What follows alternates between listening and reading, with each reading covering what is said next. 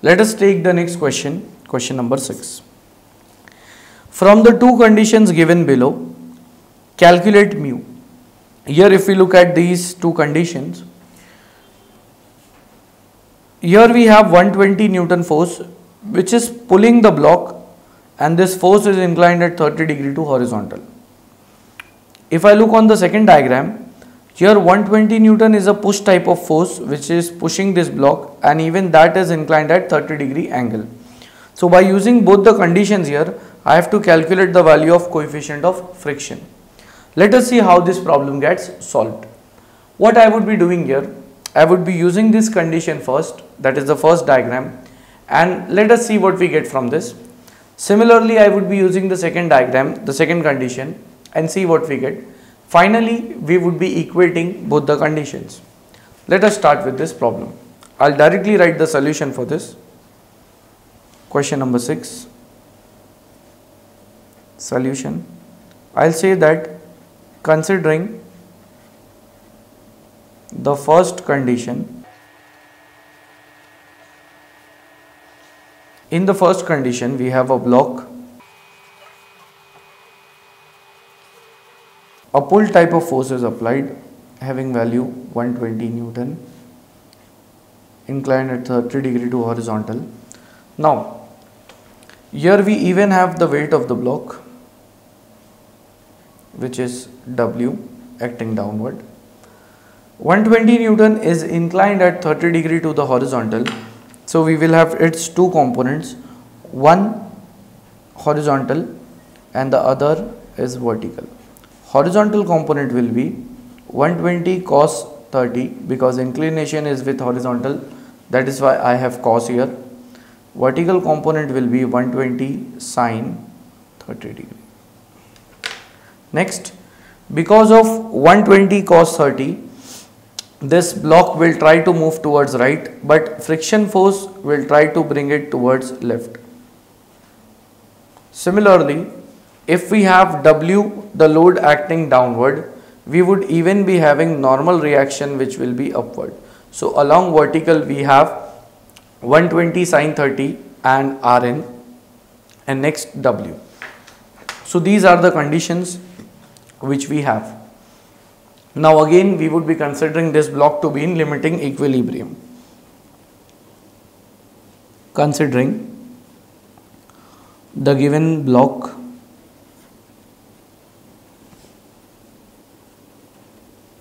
in limiting equilibrium therefore I will be using the first condition of equilibrium that is summation of fx is equal to 0 sum of all rightward forces would be positive all leftward forces negative. I'll say that therefore here I have 120 cos 30 positive minus f which is mu into Rn that would be treated as negative and that's equal to 0.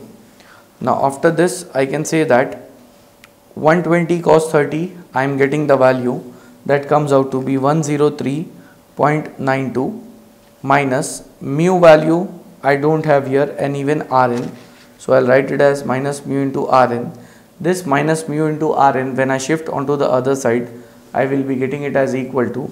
Therefore I'll say that since I want to calculate mu here the question is we have to calculate the coefficient of friction. So mu I would be saying that it is equal to 103.92 divided by Rn will be shifting here. This becomes my equation number 1 so this much I am getting from the sum of all horizontal forces. After this I will say that also summation of Fy is taken as 0 where all upward forces to be considered positive and all downward forces to be taken as negative. Therefore, if we look into the diagram, I have Rn as positive. So Rn 120 sine 30 positive plus 130 120 sine 30 next W is acting downward so negative. That's equal to 0 so what I would be doing here? Therefore Rn plus 120 sine 30 the value which I am getting here it is 60 minus W is equal to 0 I will keep Rn on one side shift W and 60 on the other side so it would be changing the sign now this Rn I will put in equation number 1 which we have got so Rn will be replaced by W term. So I will say that put Rn in equation number 1. Therefore, mu is equal to equation 1 I have 103.92 in the numerator. In the denominator I have Rn and Rn is W minus 60. So I'll keep this whole equation as capital A.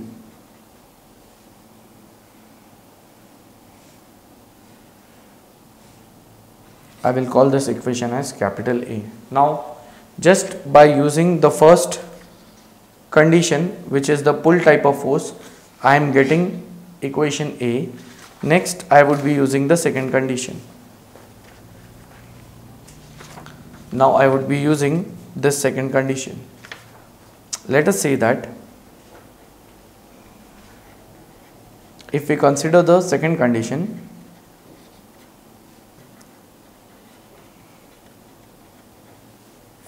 here it is given that instead of pull type of force we have a push type of force here we have a push type of force so again this force is inclined at 30 degree to horizontal so here we will be having two components. Horizontal is 120 cos 30, vertical is 120 sine 30. Next, W weight will be acting downwards. Opposite to that, normal reaction will be upwards. This is the friction surface.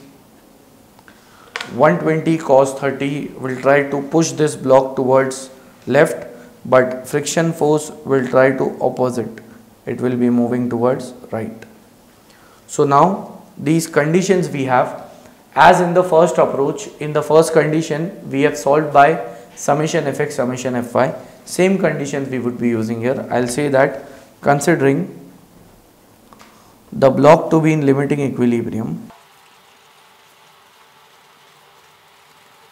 I will be saying that summation of fx to be taken as 0 where rightward forces are positive and leftward forces are to be taken as negative. Hence, I will have f as positive minus 120 cos 30 will be negative. So that's equal to 0. Therefore, f means mu into Rn that is equal to I will shift 120 cos 30 onto the other side. So if I write this mu will be equal to 120 cos 30 the value which I have here it is 103 it comes out to be 103.92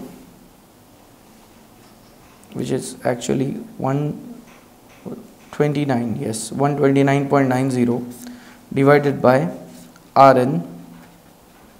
So I'll keep this as my second equation. Next after summation fx I will go for summation fy. I'll say that summation of fy to be taken as 0 where upward forces are positive and downward forces are negative. Therefore, if I see here Rn is upward so positive.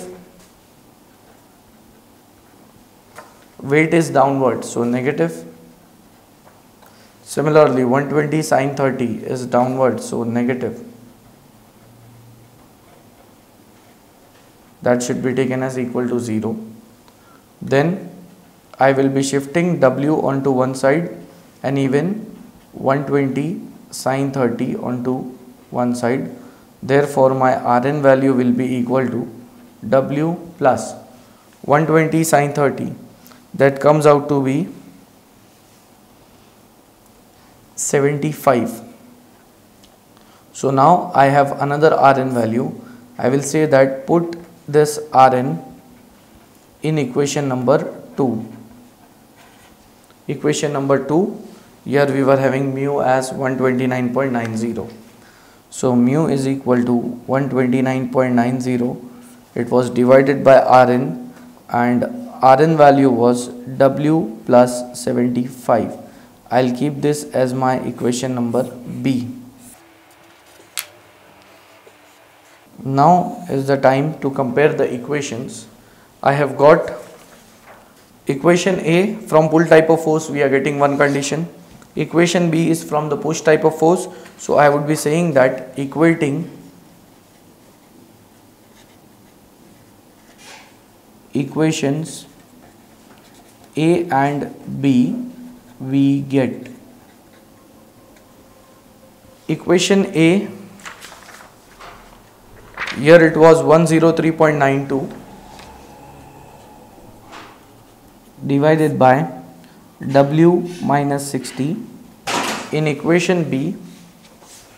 Here I have 129.90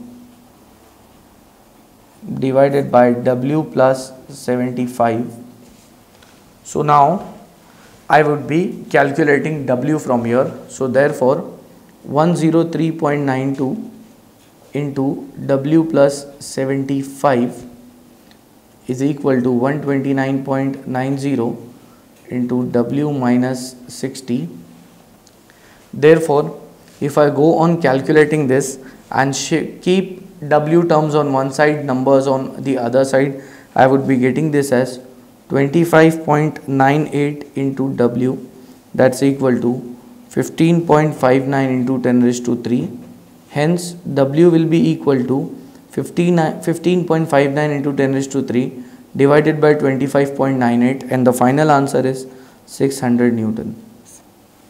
So here I am getting W but in this question they had told us to calculate coefficient of friction. So if I look at equation B here I am having mu in terms of W. If I look at equation number A here also I have mu in form of W. So if I put W value either in equation A or equation B, I will be getting the answer of mu. So I'll say that put W is equal to 600 Newton in equation number A. Therefore, mu will be equal to 103.92 upon W is 600 minus 60 that's from equation A and hence I will be getting my answer of mu as 0.192 and here we had calculated coefficient of friction from both the conditions and we complete this question.